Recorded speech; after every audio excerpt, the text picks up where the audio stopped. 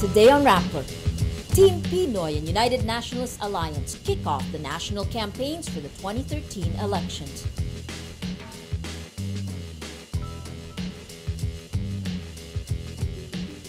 Performance and trust ratings of the country's top officials drop in the latest Pulse Asia survey.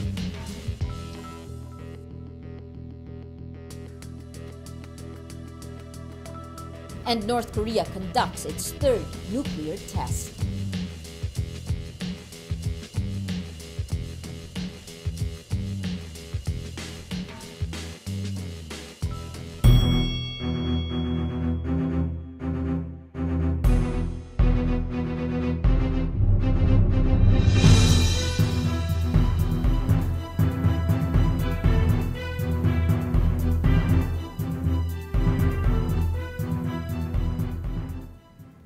Hello, I'm Maria Ressa. Welcome to Rappler, your social news network. President Benigno Aquino's senatorial slate kicks off their campaign for the 2013 elections at Plaza Miranda. Natasha Gutierrez gives us the details on the Team PNoy proclamation rally. As promised, Team PNoy drew a clear line between his team and the opposition in their proclamation rally here today. The message was loud and clear. This is the president's team and nobody else. President Benigno Aquino III, in endorsing his candidates, took a swipe at the United Nationalist Alliance, questioning how they could be supportive of his reforms when they have candidates who used to be allied with the Arroyo government. In front of a jam-packed Plaza Miranda, the 12 candidates of Team PNoy took turns speaking on stage about their platforms. But a common thread throughout it was a message in line with the team's strategy. Candidates vowed to continue the reforms made by Aquino. Several candidates like Loren Legarda and Jamby Madrigal even used up most of their 6 to 8 minutes endorsing other candidates on the slate, emphasizing to voters that a 12-0 win in favor of Team PNoy was essential for the nation's success. As expected, the president himself hammered home the message, saying it's clear that his 12 candidates, unlike others, have the people in mind and not themselves. He said those allied with the past government criticized the reforms he has accomplished so far, and voting them would only be reverting to a rotten system. The mood was festive in Plaza Miranda with the candidates all in a good mood and the crowd equally happy to see their candidates. Although there was a minor accident, Occidental Mindoro Vice Governor Mario Eugene Mendiola fell off the stage and was bleeding from his head. He was rushed to the hospital. The president stayed with Mendiola until the ambulance came. He is supposedly okay, except for a 4-inch laceration on his head and some minor back pains. Aside from that, candidates said the event was a huge success to them, and they've also expressed excitement over the campaign period. Tomorrow, Team PNoy will be in Batangas, followed by Laguna on Thursday, and Cavite to wrap off the week.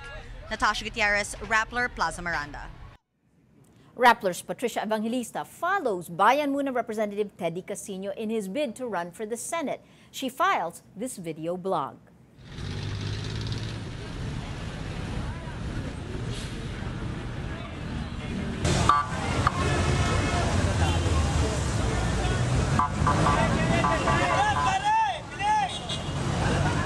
Bagamat walang kasing laking makinarya ng mga tradisyonal na politiko, ay kasama naman natin ang sambayanan. So hindi tayo nangangamba. At ito po ay tatratuhin natin na parang isang triathlon, talagang paghihirapan natin, pagsisipagan natin, pero yan ang kinakailangan para magkaroon ng tunay na pagbabago sa ating bansa. We're proclamation rally of Bayan Muna Party List Representative Teddy Casino, the left-wing senatorial aspirant who claims he is an alternative to what he calls a monopoly of elitists.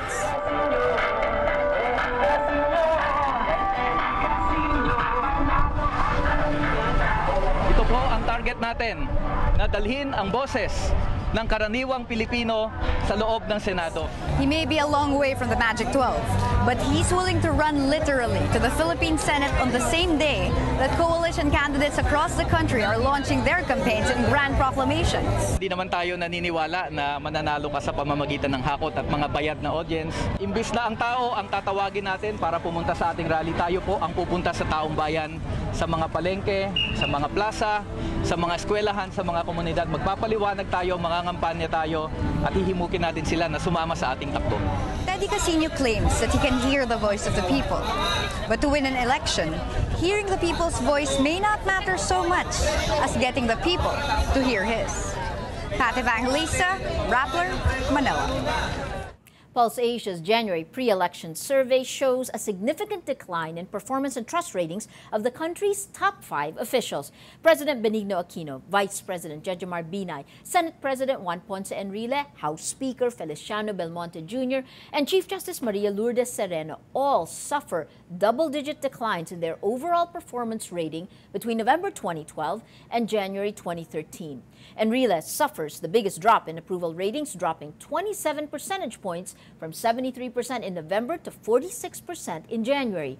His disapproval ratings rise from 5% to 16%, an 11 percentage point increase. Despite their significant drops, Aquino and Binay are the top two officials still enjoying majority, majority approval ratings. Aquino suffers a 12 percentage point drop from 78% approval rating in November to 66% in January. His disapproval rating remains unchanged at 6%. Binay's approval ratings also declined from 82% to 69%, while his disapproval ratings rose slightly from 3% to 5%. Belmonte's approval ratings dropped 18 percentage points from 46% to 28%, while Sereno's dropped 14 points from 38% to 24%.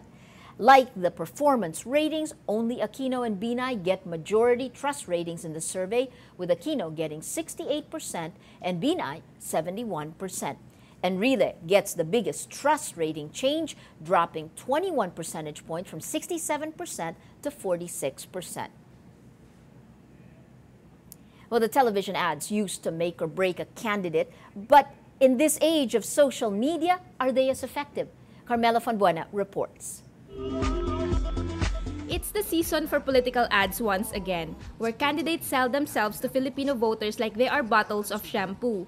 We see the same tried and tested formula, popular relatives, Si Tito Ninoy, Tita Cory, slogans, Use your cocote. and catchy singles. The past four national elections since Congress lifted the political ad ban in 2001 shows how political ads can make a senator. The biggest success story so far is Mr. Palenque, Mr. Palengke ako. a strategy that helped catapult a relatively unknown senatorial bet, Mar Rojas, to the top spot on election day. But relative slogans and jingles are not enough to make a winning political ad like Mr. Palenque. There's an entire science behind making TV viewers like the ad and vote for the candidate, making children dance to it, or making voters sing to it. So far, none of the ads today have captured the voters the way Mr. Palengke did in the 2004 senatorial elections. Is it too early to tell? Or have voters' tastes changed? Carmela Fonbuena, Rappler, Manila.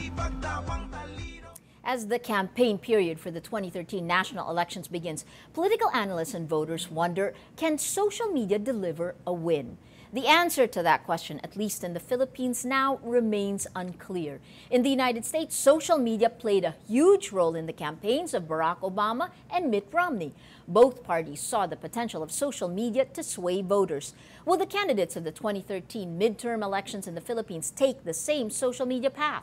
The Rappler social media team checked their accounts last night, and here's what we found. Senator Chiz Escudero tops Twitter with more than 100,000 followers. He's followed by other former and current politicians and a political newbie. At number two is former Akbayan Representative Risa Hontiveros, followed by San Juan Representative J.V. Ejercito, Aurora Representative Sonny Angara, Senator Loren Legarda, Senator Antonio Trillanes, Bayan Muna Representative Teddy Casino, former presidential contender Eddie Villanueva, and resigned Senator Miguel Migs Zubiri. On Facebook, Eddie Villanueva tops the list with more than 130,000 likes, friends, and followers. He's followed by the Red Cross chair Richard Gordon, Bam Aquino, J.V. Ejercito, Chiz Escudero, Risa Hontiveros, Teddy Casino, Puerto Princesa Mayor Ed Hagedorn, Mig Zubiri, and Una Senate Bet Mitos Magsaysay. In 2012, social media campaigning expert Cynthia Cook says while social media can't assure a win in real life, ignoring its potential can be disastrous. She says engagement is key.